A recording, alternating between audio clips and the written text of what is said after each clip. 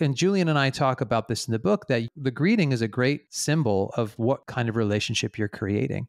Communication is not just about transferring information from one place to another, it's about creating a relationship. So the way you establish a connection and greet people is the first sign of the quality of relationship you want to create with others. This is the ERP Organizational Change Journal podcast, brought to you by Nestell and Associates, a Newport Beach, California-based ERP organizational change management firm serving the private equity industry. The ERP OCJ seeks to share expertise, insight, experience, and research, and to create effective conversation to help guide ERP organizational change to real, measurable, and verified success. And now, here's your ERP expert and host, the founder of Nestell and Associates, Dr. Jack Nestell. Hey everyone, Jack here. In this episode, we will discuss positive communication for leaders, which happens to be the title of our guest's new book. We will explore how to lead effectively, create community, and inspire positive change. We will also discuss the importance of courageous organizational communication for creating high performance workplaces. Let's examine the benefits of positive communication for leaders and courageous communications for employees, leaders, and organizations. Our goal is to provide valuable insights and practical tips for private equity firms and all stakeholders involved in ERP organizational change. So, today we will discuss communication strategies for effective ERP organizational change with guest Alex Lyon. We share key ideas from experience and from his new book, Positive Communication for Leaders. His co author is Julian Mirivel.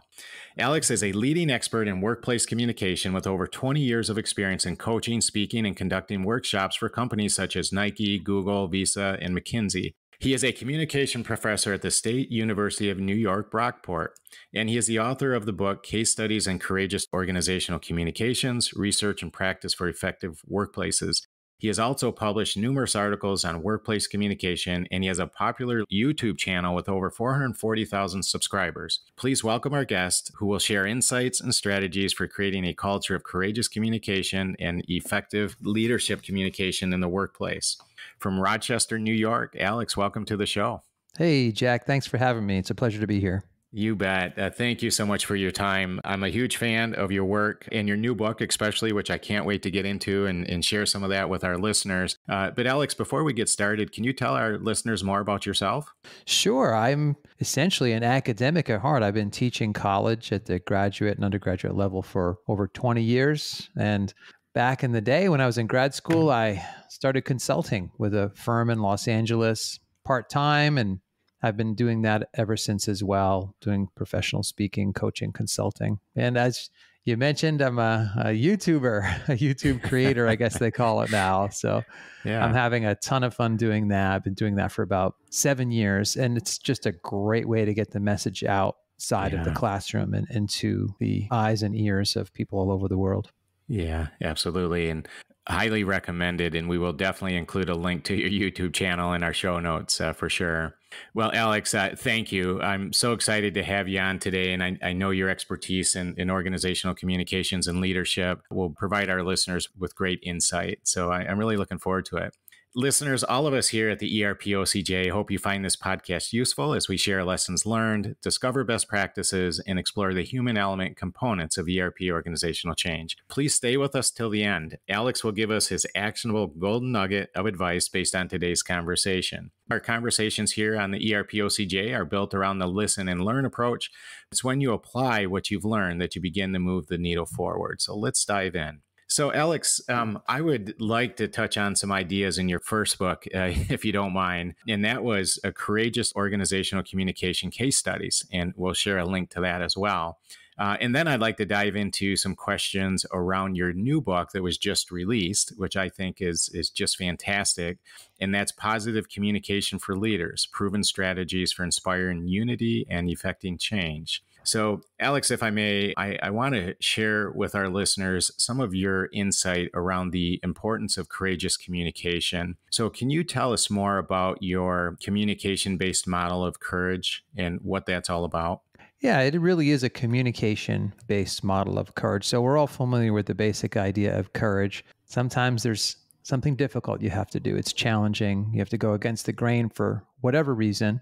And you've got to muster up some courage to take action. So the same principles apply to communication in the workplace. There are norms and even what you might call, quote, best practices that sometimes in the end, we find out they're not all that good for the organization's long term health and effectiveness. And so courageous communication is setting up four key communication practices that help people speak up against sometimes the norms that are there and the tradition that's there and the cultures that's there and to help the organization turn a corner and become more effective. So it takes courage to speak up and to go mm-hmm. against things. No one likes to be that, you know, this is the old expression, the nail that sticks up is the one that gets pounded down. So the, these are the kinds of practices that will ultimately make things better for everybody, but they're a little challenging to do. Yeah.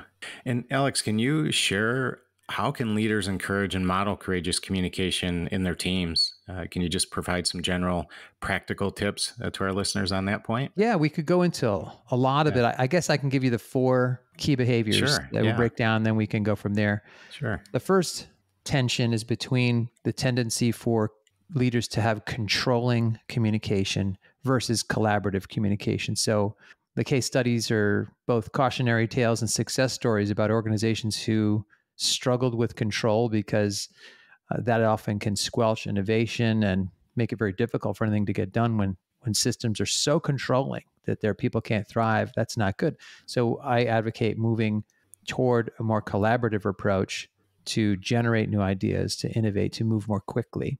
So that's the first communication behavior. The second one is balancing all of that top down communication with bottom up communication. There's plenty of top down communication. We get inundated with emails, with notifications, with reminders, with meetings, and we need all that. I understand. But there are very few systems typically in organizations to solicit and move communication up the chain of command I'm thinking about the two NASA shuttle explosions. Like the people at the bottom totally understood the difficulties, the problems, uh, and they couldn't get anyone to listen. They had no channel of communication to pass their important information upward. So balancing that top down with upward the third behavior is being transparent rather than secretive. Many organizations are obsessed with secrecy to the point where even people within their organization aren't allowed to talk about really important issues, especially the issues that could hurt the organization. So I'm advocating for more transparent communication about the issues that matter most.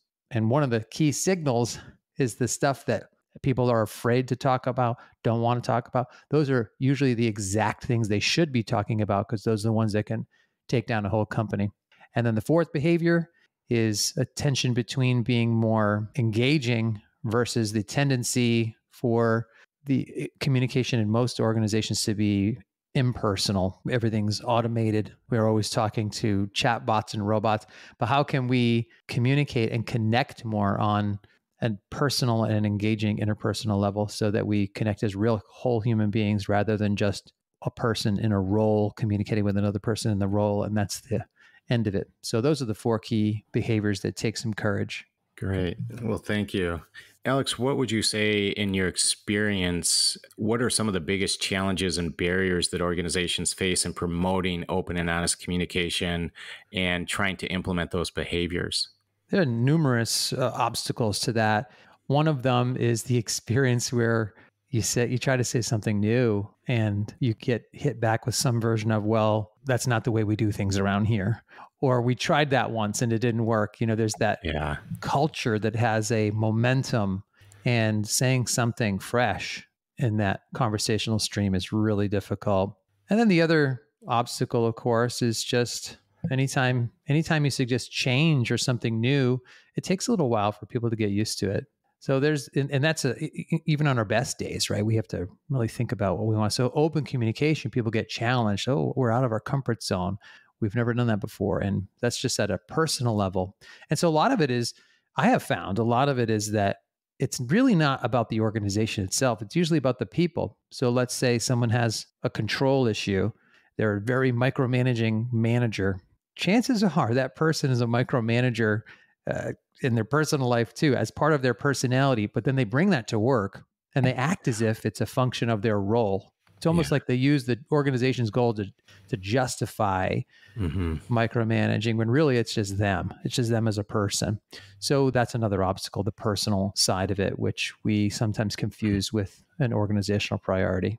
Well, thanks, Alex. So, you just shared with our listeners this idea of communication based model of courage. You then shared some behaviors on modeling that courage. And then you also shared some of the biggest challenges and barriers. What would you say, uh, I guess, lastly, on this topic of, of courageous communication? What would you say is how can individuals, you know, how, how can Jack Nestell in a workplace approach difficult conversations or conflicts with courage and empathy. I mean, do you have any uh, tips and pointers for our listeners as far as individually what you can do to take responsibility and ownership and and help create that positive culture of courageous communication? Yeah, there the four behaviors I think anybody can do: more collaborative, mm-hmm. be more. You could solicit upward communication or make a way to pass it up. You can be more transparent and you can be more engaging. That can start at the one-on-one level. And indeed, I think that's the best place to start. Start within your department, start within your one on one conversations. It's really difficult to institute these organization wide, system wide, but you can start on your own team and make it normal you know make it natural to have for example transparent conversations about difficult issues start sharing some of the difficult issues and and don't make it seem like you're breaking some taboo you know just have the conversation like hey the couple things we need to address and talk about them more openly, see how it goes, talk about some other things more openly, see how it goes, and then people will become accustomed to doing it. It's got to start somewhere though. There's the old, you know, you can you can wait and try to convince everybody that the top down hierarchy to say, well, this is a whole new thing, but really you can do these four behaviors in the midst of even the strictest bureaucracy. Yeah, great insight. Uh, that's what I was hoping you would say because I think, Alex, um, it all starts with, as you said, it starts one on one, right? And so I think if you were to write and reflect upon those four behaviors, and and be intentional and deliberate and then get feedback you know so maybe you find some internal mentors or you know internal colleagues and and you just share as you'd mentioned you share those behaviors and you just have those conversations you know so maybe maybe that's how it starts internally and as you said uh, it could be hard to implement organizational wide but again it starts at that individual level right? And i think that you know kind of that that grassroots level i guess i would say where you start with the individual and as individuals within an organization you have responsibility you know you you have ownership and commitment to improving your workplace and creating that culture of, of courageous communication. And so you can do something about it right? And mm-hmm. I think that yeah, it starts one on one, and that is through writing and maybe starting with your four behaviors uh, that you just shared with our listeners, reflecting upon those, and then maybe think about how you can get feedback and how you are performing against those behaviors. Is mm-hmm. that something that uh, makes sense for our listeners? Yeah, that's a. You said it better than I could. Start where you are. Start within your own sphere of influence put these into practice, get better at them, see how it goes, and try to spread it from there. Well, Alex, great insight there. I, I appreciate you sharing that uh, with us. And so now I'd like to switch gears to your new book. Again, that is Positive Communication for Leaders Proven Strategies for Inspiring Unity and Effecting Change. And again, as, as I had mentioned, I read your entire book and I really appreciate how you give practical yet research based strategies for positive leadership. So, Alex, if you would, please allow me to walk through the chapters. And I'd like to ask that if you could just share a little bit with our listeners, and then we can leave it up to our listeners and provide them with the link to your book and they can purchase the book to learn more. But I think the best way to share your work is uh, if you could just take a minute as we walk through each one of the topics of each chapter and you know just take a moment to explain further what that topic is about and, and what it means. Um, but first i want to share with our listeners what you wrote in the preface of your book. Uh, and again this is with your colleague and co-author uh, julian Mirivel and you wrote quote we wrote this book to equip you and other people who are in positions of leadership and influence to create meaningful and influential relationships with your employees and have the skills to build a positive workplace culture end quote. And I think you uh, you hit the nail on the head here um, with uh, with your book and and with each one of these chapters and the way you broke it down. Uh, and again, what I really appreciate is just the excellent practical uh, advice, but yet research based strategies. Um, so um, I, I, really do appreciate that your work. So that being said, Alex. Um, your if you want to add anything before we dive in here uh, feel free um, but your chapter two is greet to create human contact. What do you mean by that and why is that so important? Well one of the things that we learned and that my co-author julian articulated in one of his earlier books is that every culture and every part of the world has greeting rituals they they look different, but they all know what a good greeting is. And when people blow it off, screw it up, it will cause a lot of difficulty in mm-hmm. the relationship. And so we said, let's start at the beginning. Let's talk about how, when you're first running into someone for the day or for the week, or if you haven't seen them in a while, how do we greet people and how do we do that in a way that creates and invites a human connection how can we do that in a way that moves closer moves in to the other person rather than the distant uh, I don't know, like a football Heisman, you know, the where you stick the arm out and you say, I gotta, I'm busy, I gotta keep going. That creates a real bad impression. It creates a bad and and Julian and I talk about this in the book that you're the greeting is a great symbol of what kind of relationship you're creating. Communication is not just about transferring information from one place to another. It's about creating a relationship. So the way you establish a connection and greet people is the first sign of the quality of relationship you want to create with others. And by the way, it's one of the first things we withdraw when you're having conflict with yeah, people in yeah. the workplace or at home. It's right. one of the first things you avoid. You don't want to greet them. You'll walk the other way in the building. You'll figure out a way to swerve around them so you don't have to because greet and connect is we realize the significance of it. So that's why it's so important to get that first step right greet them. How you doing? How's everything going? How was your weekend? Make some small talk. Open a channel of communication, and that leads to lots of other work and task related goals yeah. that you can move to from there. What uh, powerful uh, advice there. And Alex, let me ask you this. I've actually often wondered about this and observed it. So I assume that the create and invite human connection includes email. Yeah. You know, so it's just interesting to me and, and obviously you as well, just studying leadership in general and in the broad sense, right? And one of the things, you know, you see, especially at Nestell and Associates and working with lots of executives and CEOs and so forth, you know you get an email and it's just one or two sentences no hi no thank you no please no, no none of that right? But yep. doesn't uh, especially internally amongst your your internal stakeholders does that apply? I mean is that a tip and a pointer? So it's not just in person face to face but it seems that that is a valuable idea in notion through other forms of communication as well especially email yeah, absolutely. It's it's one on one. It's in group meetings, and it's absolutely in emails. In fact, we yeah. cited some research from the research team, the New Zealand language study, language at work study, I believe it's called, and they did a, an audit of emails, and they found that cultures, workplace cultures that had difficult, toxic atmospheres, had no greetings and no sincere closings in their emails. They just said the meeting is at five o'clock. But Is the organiz- right? yeah, but the yeah. organizations that had great cultures, some of the best places to work, when they examined their emails, they would say, "Hope everybody had a good weekend. I'm so excited to get back to work. By the way, our meeting today is at five. Mm. Warmest regards, Alex Lyon." And yeah. the question is, you know, is the culture creating these warm greetings or the warm greetings helping to create the culture? And it's a little bit of both, but one thing is for certain, you have to if you're already in a toxic culture, you have to break the cycle. You have yeah. to try. And yeah. this is a great intervention, a great inroad to change things to begin to turn the corner and connect. Yeah. Well, that's fascinating. I'm going to have to because it is a topic I've often wondered about but really never dug into. Uh, I'm going to have to grab that paper and uh, share that out as well on, in our show notes notes. Sounds like a fascinating piece of research. Yeah, we do cite it in the book to make it easier on you. Good. Perfect. So, Alex, uh, tell me more about your third chapter, Asked to Discover the Unknown. I mean, when it comes to positive communication, why does that matter? Well, it's especially important for leaders. When we ask questions, especially questions of our peers and our followers, we are getting to know them. We're discovering things that we would not have known about them otherwise. And if you just think at an interpersonal level, now you're a, a podcaster, so you understand the value of asking questions. But you know, most people in everyday life don't even realize they're supposed to ask questions to get a conversation going.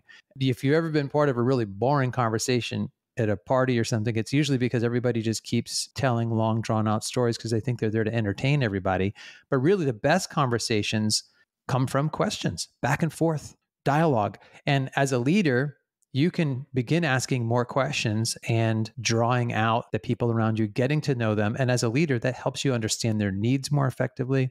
And then you can respond to those needs more effectively. And one of the research bits we cite in the book is that only 6% of all communication acts are questions, but 60% of conversation in the workplace is generated from those questions. So yeah. asking questions and better questions is literally a leadership behavior.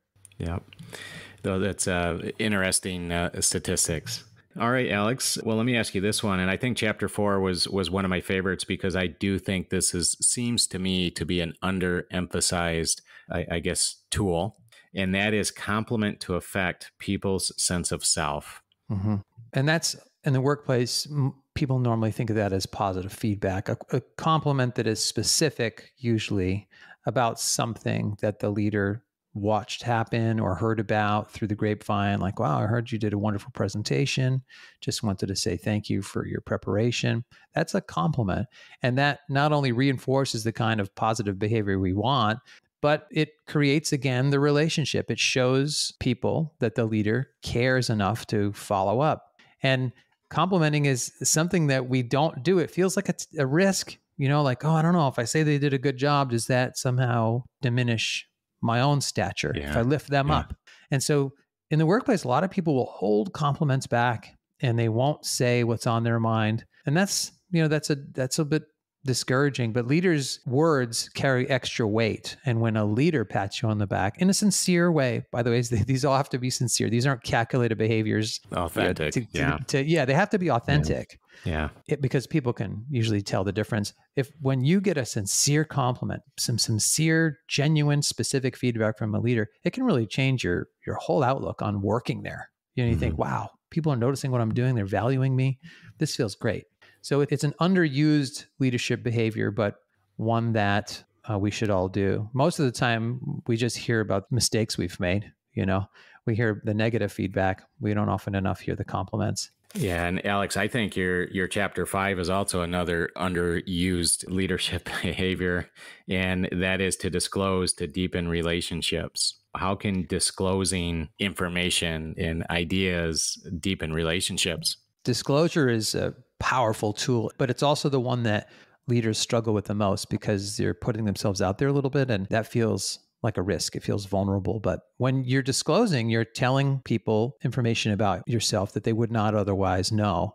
One of the powerful moments happens though when a leader shares a little bit of their background, their struggle, what they've overcome to get there, or how they dealt with a similar situation in the past that you might be dealing with now. Those kinds of personalized moments of disclosure can really connect people and humanize the leader in a way that you're more relatable and people want to work even harder for you. They they think, "Wow, he just told me about himself." And that makes me feel like we're we have a real relationship. It's not we're not just in roles here. And then they're going to step up for you. They're going to feel like, "Oh, he knows he understands me. She understands me." And there's that beginning of the empathy process happening. And this is by the way, the, the closest thing in my field I, I've been saying lately that this is like a magic wand. You perhaps you've felt this, Jack. So someone tells you something about themselves, and then you feel a freedom to, or even an obligation to share something similar. Yeah. Right? They tell you about their life, then you feel like, oh, I should tell them about my life. Yeah. That's like a magic wand disclosure. And then the other half of the magic wand is reciprocity. Yeah. So that that's a mutual exchange. And when we disclose in the workplace like this, it really does create a bond where you feel like you've exchanged gifts and your relationship has been solidified. Yeah, absolutely, Alex. I, I agree. And I, I, think that when you disclose and you're being authentic, you know, as you'd mentioned, that just creates empathy, right? And I yeah. think empathy is an important part of any relationship. And in fact, I, there's been multiple uh, papers that have been written on leadership qualities and I, I, don't recall them off the top of my head, but I have several of them. And a couple of the the top two, I guess, um, uh, factors for leadership are the very topic in which you're an expert at, and that's communication.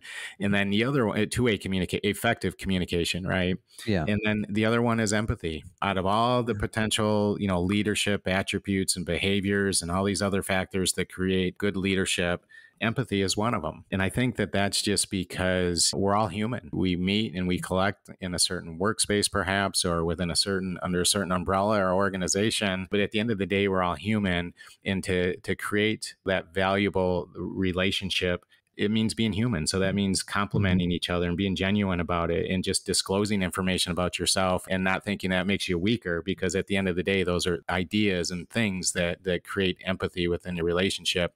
And therefore it creates additional trust, right? Mm-hmm. Agreed. Great ideas. Okay. Number six, encourage to give support. So the world, as Rocky says, ain't all sunshine and rainbows. and in, in, fact, positive communication is not just about having a sunny attitude or being superficially peppy. It's about striving for positive outcomes more than anything else. And part of that means encouraging people, giving them support when they're struggling. And this is something that leaders could get better at as well. Again, continuing the conversation about empathy that we're having here the, in the book, we say that the shortest road between a leader and a follower is empathy. It's what binds us. And one of the ways we can do this is when people are struggling, when they're in distress, when they're going through something professional that's difficult. A leader oftentimes has traveled the same road, they have been there. Or they've helped other people get through it. And so it's one of those times where you can help with advice, you can help with more listening, you can help with some kind of concrete action to help them out but it's important as a as a positive behavior to lend that support. If this were an interpersonal relationship we call it social support which is a powerful yeah. thing that people need when they're in you know in health problems and difficulty but as a leader you can support them in the workplace this way as well. So it's really important when people get knocked down to help them get up. Yeah yeah absolutely you know, Alex, on, on your next uh, chapter here, and it's called Listen to Transcend Differences. And, uh, you know, I just kept thinking about the idea, and you, you've probably heard this before, right? That some people think to talk and some people talk to think. Right. And and right. I think that's true, right? I mean, how many times have you maybe been in a meeting or a board meeting or just in, in a, uh, you know, some sort of conference or whatever? And, and I think there's some truth to that. But, you know, at the same time, listening is an art, right? It takes practice, it takes being deliberate, and especially perhaps for those folks that talk to think. But I think this idea of listening, not just talking, but listening and listening carefully and deliberately to transcend differences is a very insightful idea. Can you share more about that with our listeners? Yeah, sure. I mean, the, the, one of the things that leaders know as they move up is that the higher they go in a organization, the more time they'll spend listening. When you're an individual contributor, you certainly listen a lot as well. But when you're a leader, everybody's coming to you all the time with their problems, their struggles. You're attending meetings constantly. You're always listening to people. Some of the leaders are known for their public speaking, but what you don't see behind the scenes is they're listening most of the day. So it is a leadership behavior, first and foremost, that anyone has to adjust to and get ready for. And then it depends on how well you, you do it. And in the book, we talk about the basics, which is, you know, putting your phone away, uh, pushing away from your devices, really connecting, leaning into the conversation, literally and metaphorically. But then it also has to do with hearing the common humanity that you share, listening deeply means understanding that there's common ground here and that's one of the ways you can transcend those differences is we all want mostly the same things right? Happy healthy meaningful lives and we all oftentimes struggle with many of the same things. So listening for that deeper level is really the key. So we're not really talking about comprehensive listening, like where you're trying, like learning like a student, taking good notes from a teacher's lecture. We're talking about how you listen to what's beneath the surface when you're in leadership position. And then through that commonality, again, we get back to empathy, but also it equips you. Now you as a leader, you have better information. You understand what's going on with people. And so when you make a decision, when you have to make a judgment call, it's going to be much more likely to hit the mark. So it's about connecting, it's about building relationships, but listening is a really effective tool for leaders who want to get it right. Absolutely.